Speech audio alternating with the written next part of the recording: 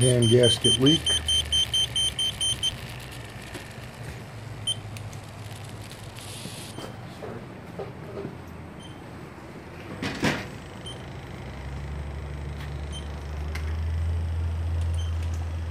Then we spray some foam.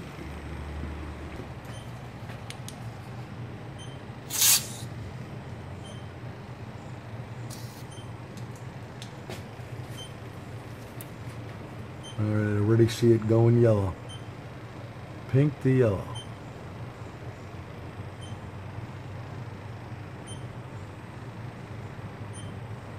Yeah, it's right out of the gasket.